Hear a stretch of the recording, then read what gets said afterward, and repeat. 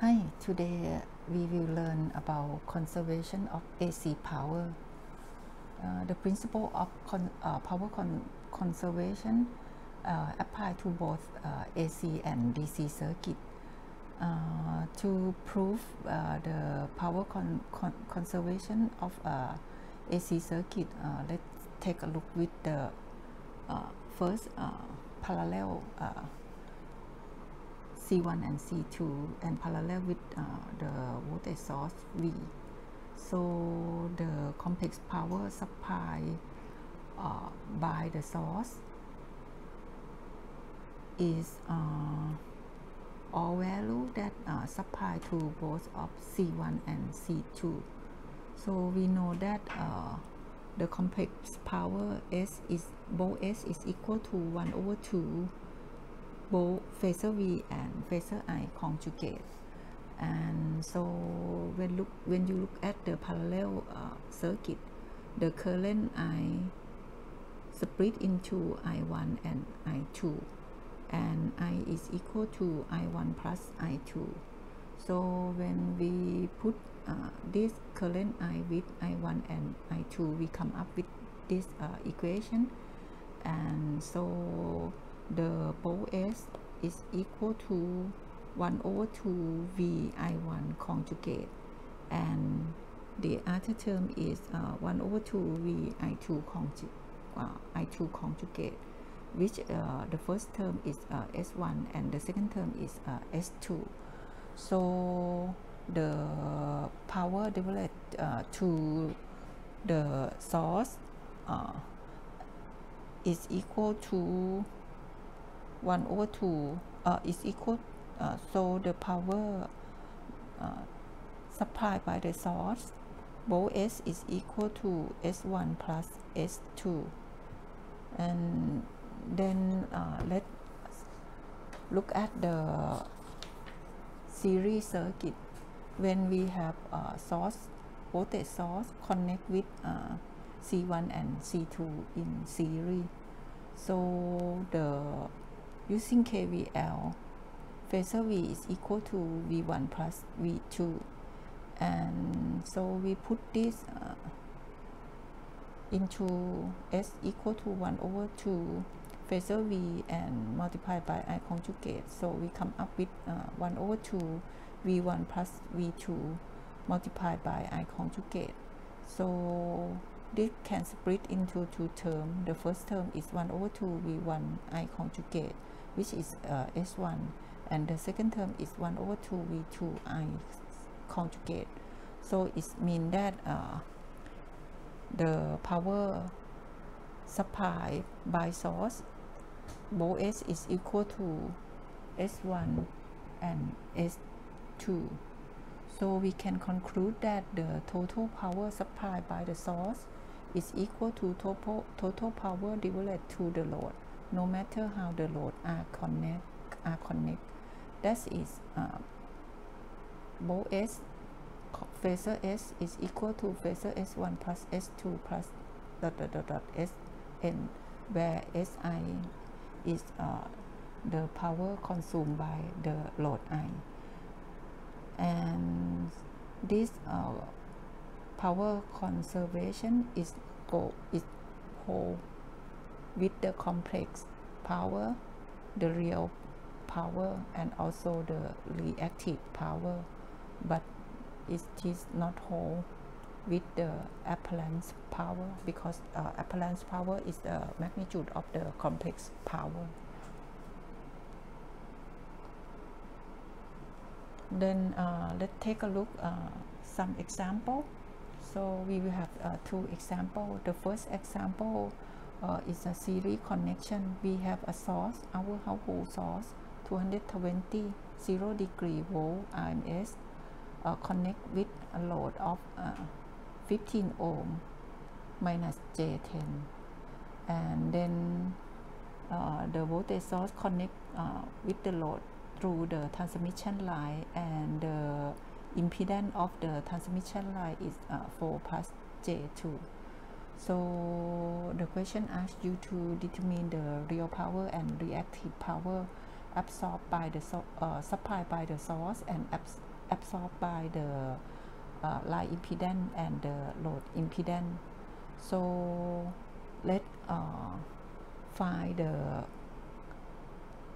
power that uh, supplied by the source first so uh, since we consider the source right so when we look at this uh, as the whole load so the total impedance Z is equal to the line impedance 4 plus J2 in series with uh, the load impedance 15 plus uh, minus J10 so this uh, real plus real we have 19 minus J8 this one is a phasor impedance and the unit is ohm. So since we know that uh, the complex power complex power is equal to V multiplied by I conjugate. We know uh, VMS already so we can know I I is equal to V divided by Z which is equal to 220 0 degree and divide by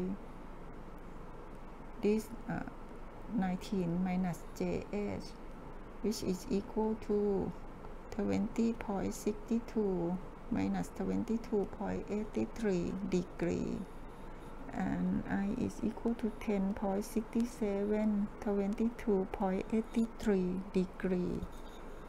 So the complex power is equal to 22 20 220 0 degree multiply it with uh, 10.67 and then minus 22.83 degree. And the complex power is equal to to 163.5 minus J 9 110.8 and complex power the unit is uh, amp and is equal to P plus JQ so our P is equal to 201 to 2163.5 watt and we have a minus Q. So uh, our Q is uh, our Q is minus so we have a leading power factor and Q is equal to its magnitude is equal to 900 910.8 uh, volt amp reactive var and so we answer both real and reactive power of the source power or of uh, supplied by source already. Next uh, this uh, power will contribute to first part the line impedance the second part to the load impedance so for line for the power absorbed by the line impedance the complex power absorbed by line impedance is equal to V line voltage drop across the line impedance multiplied by the uh, current conjugate. Since this one is a series so it's the same current same phasor I so the voltage drop across line impedance.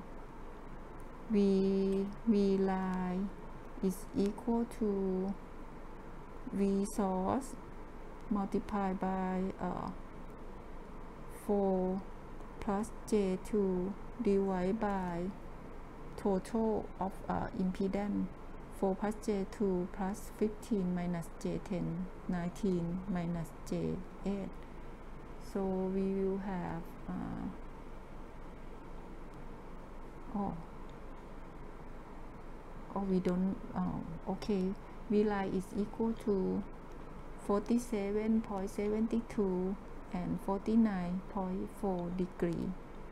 We can also find it from impi uh, line impedance multiplied by uh, current because we know the phasor I already and we will come up the same uh, answer 47.72 and uh, phase is 49.4 degree. So the complex power consumed by uh, load uh, uh, line impedance will be equal to 47.72 49.4 degree multiply with uh, I conjugate and I is this one. So multiply with 10.67 and minus 22.83 degree. Uh, this is equal to 455.4 plus J2 to 7.7 VA and this one is plus so we have a lagging power factor. Next uh, we find the uh, real power and reactive power uh, consumed by the load so we find the complex power of the load impedance which is equal to V load multiplied by I conjugate. And uh, V load is equal to load impedance 15 minus J10 15 minus J10 multiplied by I.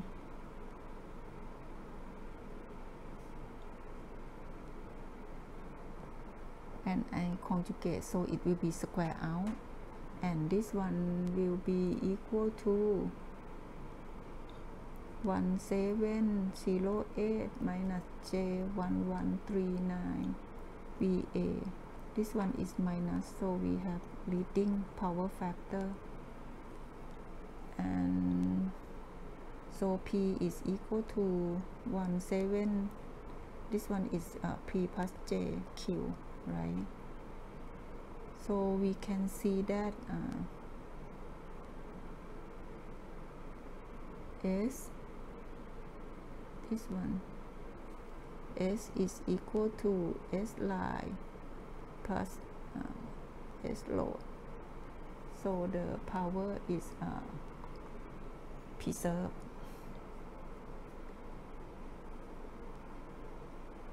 Next uh, we have one more example. And uh, we have a parallel circuit 120 uh, VMS and then 10 degree connect with the Z1 and Z2 Z1 is 60 and minus 30 degree and Z2 is 160 and 90 degree. So we have kind of uh, capacitive uh, one and then uh, inductive load one. So they ask you to compute the total apparent power real power reactive power and power factor so we uh, so for question number A first we try to find the total apparent power. Uh, since uh, we know voltage and we know uh, impedance both impedance so we know that the complex power is equal to VRMS square divided by uh, Z uh, conjugate. So for the complex power absorbed by Z1 S uh, complex power 1 S1 both both both S1 is equal to VMS square Z1 conjugate which is equal to 120 square divided by 60 and then this become 30 degree uh, so this is uh, equal to 240 and minus 30 degree. So the complex S1 is equal to to uh, 207.85 minus J 120 VA and then next uh, we solve for S2 which is uh, equal to VMS square the same wall and divide by the Z2 conjugate.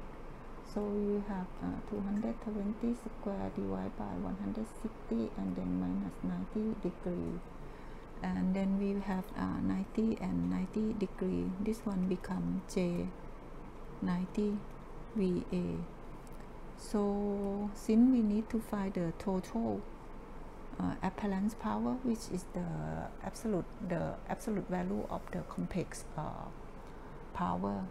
And based on the conservative power, uh, conservation of uh, complex power.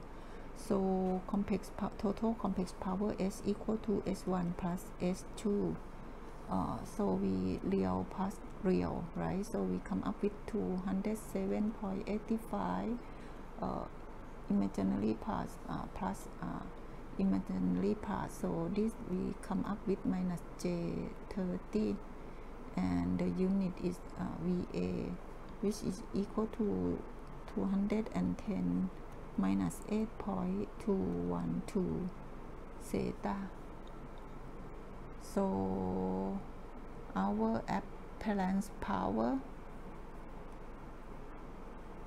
is equal to magnitude of complex power which is equal to 210 and apparent power is a VA unit. And the real power is equal to 207.85 watt. And the reactive power magnitude is equal to 30 uh, uh, 30 uh, watt and it's a leading power factor because it's minus. And the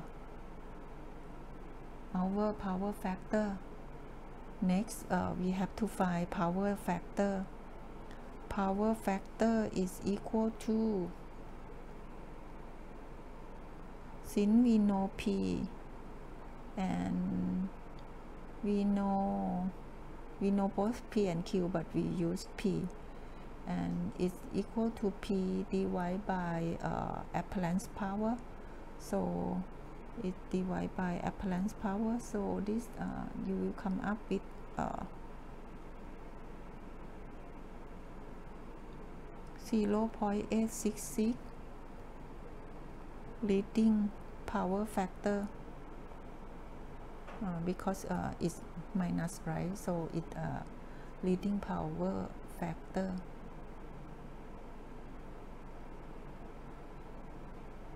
And so let uh,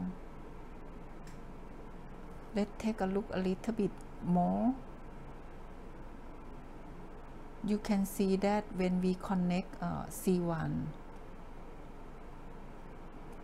Z1 we will have uh, P equal to 207.85 and after that we uh, connect uh, Z2 in parallel. But after connecting this uh, P doesn't change 207.85 uh, P is still the same. But uh, what happened is that now the theta is uh, a lot less.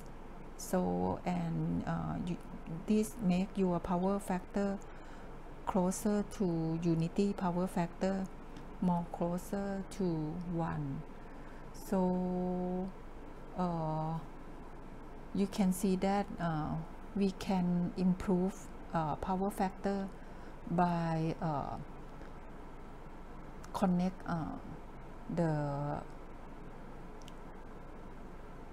impedance proper impedance that will maintain the p because we we we, we want p is actual work right? We would like to maintain the p value but uh, q can change. So we try to change q such that the uh, power factor close to the uh, unity to 1 so our next uh, topic is on uh, power factor cor correction